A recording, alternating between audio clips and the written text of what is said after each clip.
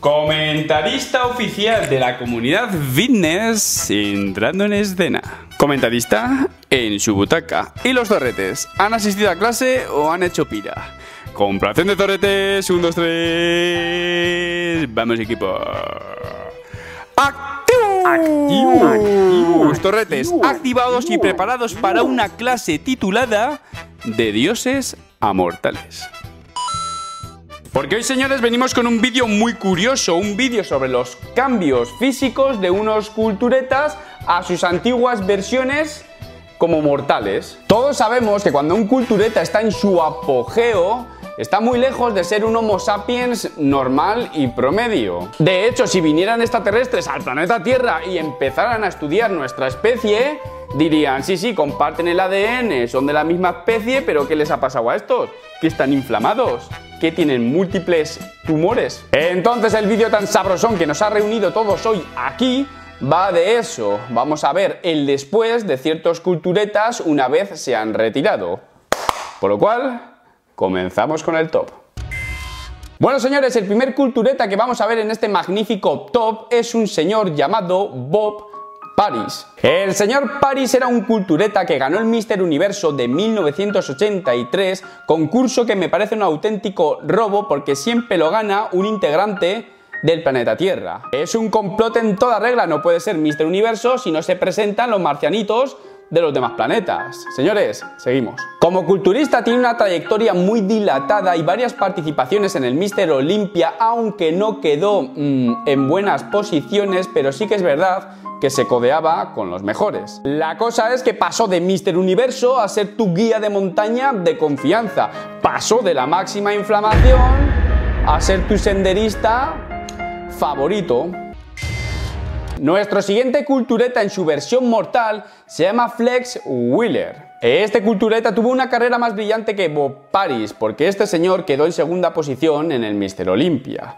Y este señor era uno de los culturetas más punteros en la década de los 90. Conocido ni más ni menos como el sultán de la simetría y respetado por leyendas como Ronnie Coleman, digamos que ha tenido una vida un poco accidentada. En su vida accidentada ha tenido problemas renales, tuvo un accidente de tráfico que le ocasionó lesiones en el cuello y la columna, pero lejos de acabar todo aquí, hace poco le tuvieron que amputar una pierna.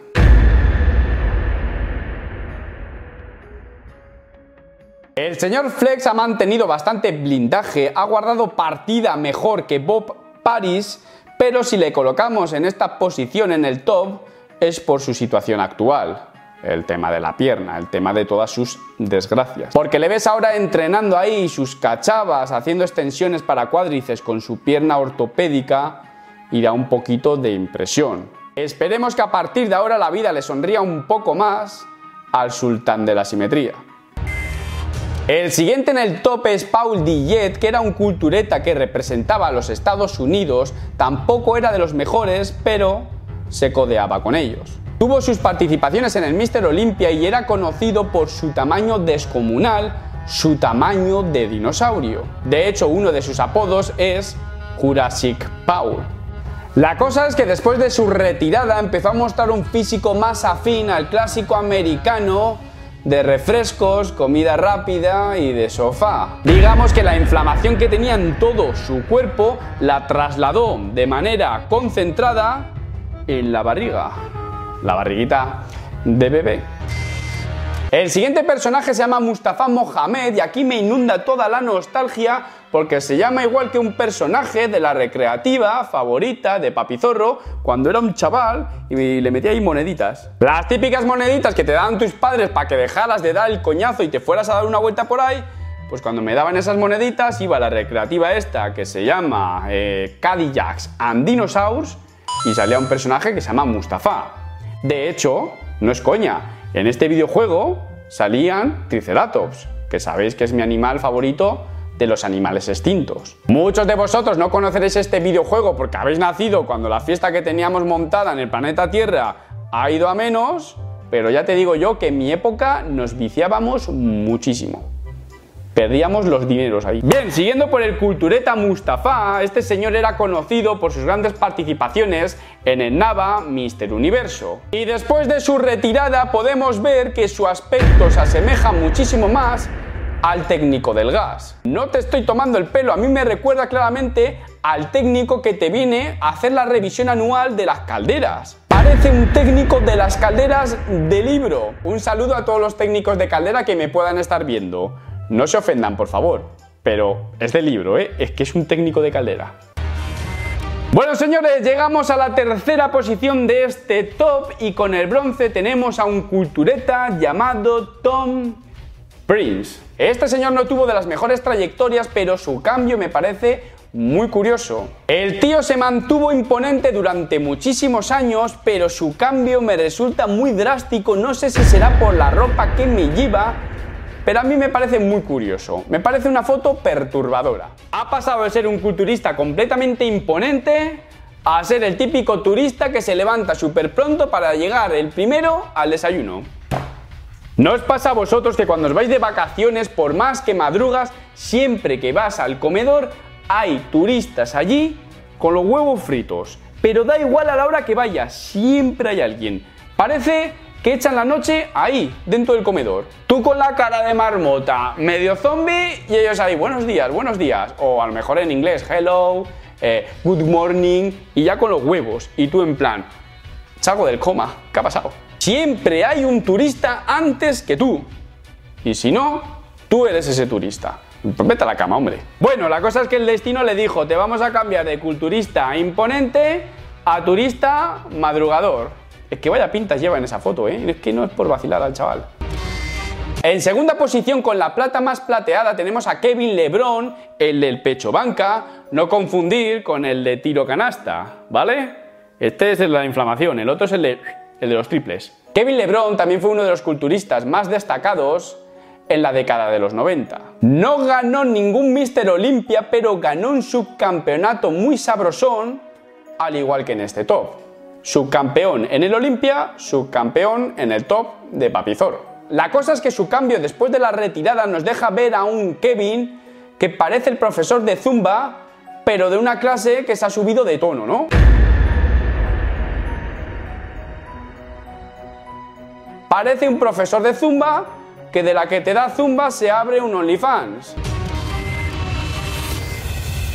Vale señores, llegamos al primer puesto de este top, a la cima de la montaña y este cambio físico, esta destransformación es alucinante. Este caso es tan extremo que te darás cuenta del poder que tiene la química y te acordarás de las veces que ha dicho Papi Zorro que usar química es lo más parecido a jugar a ser Dios. La química te puede mutar, pero te puede mutar tanto que en el caso de algunas mujeres superan el punto de no retorno y no vuelven a ser las mismas. Y en este caso tenemos como protagonista a Denise Rutkowski.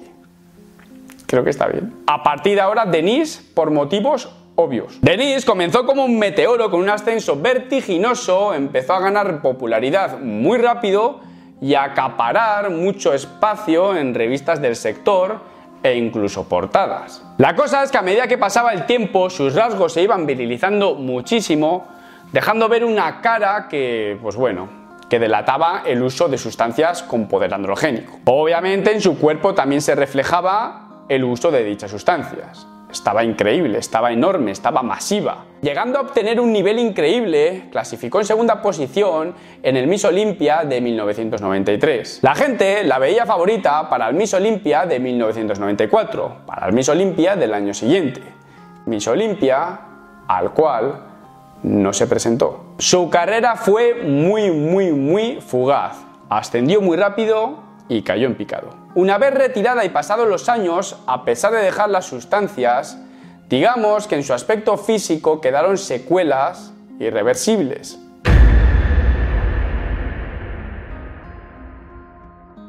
Ligera alopecia, bastante cantidad de vello facial y un rostro que nunca volvió a ser el mismo. Secuelas irreversibles en un caso que ocupa el primer puesto en este top por motivos obvios. Es una historia bastante triste. Bueno chicos, hasta aquí el vídeo de hoy, porque si continúo te voy a dar pesadilla. Chicos, espero que os haya gustado mucho y antes de iros, si no habéis visto este vídeo, os lo recomiendo. Y si queréis pertenecer al Calbotín, el equipo de los malvados, pinchad aquí. Bueno chicos, como siempre os digo, un saludo, un abrazo y hasta luego.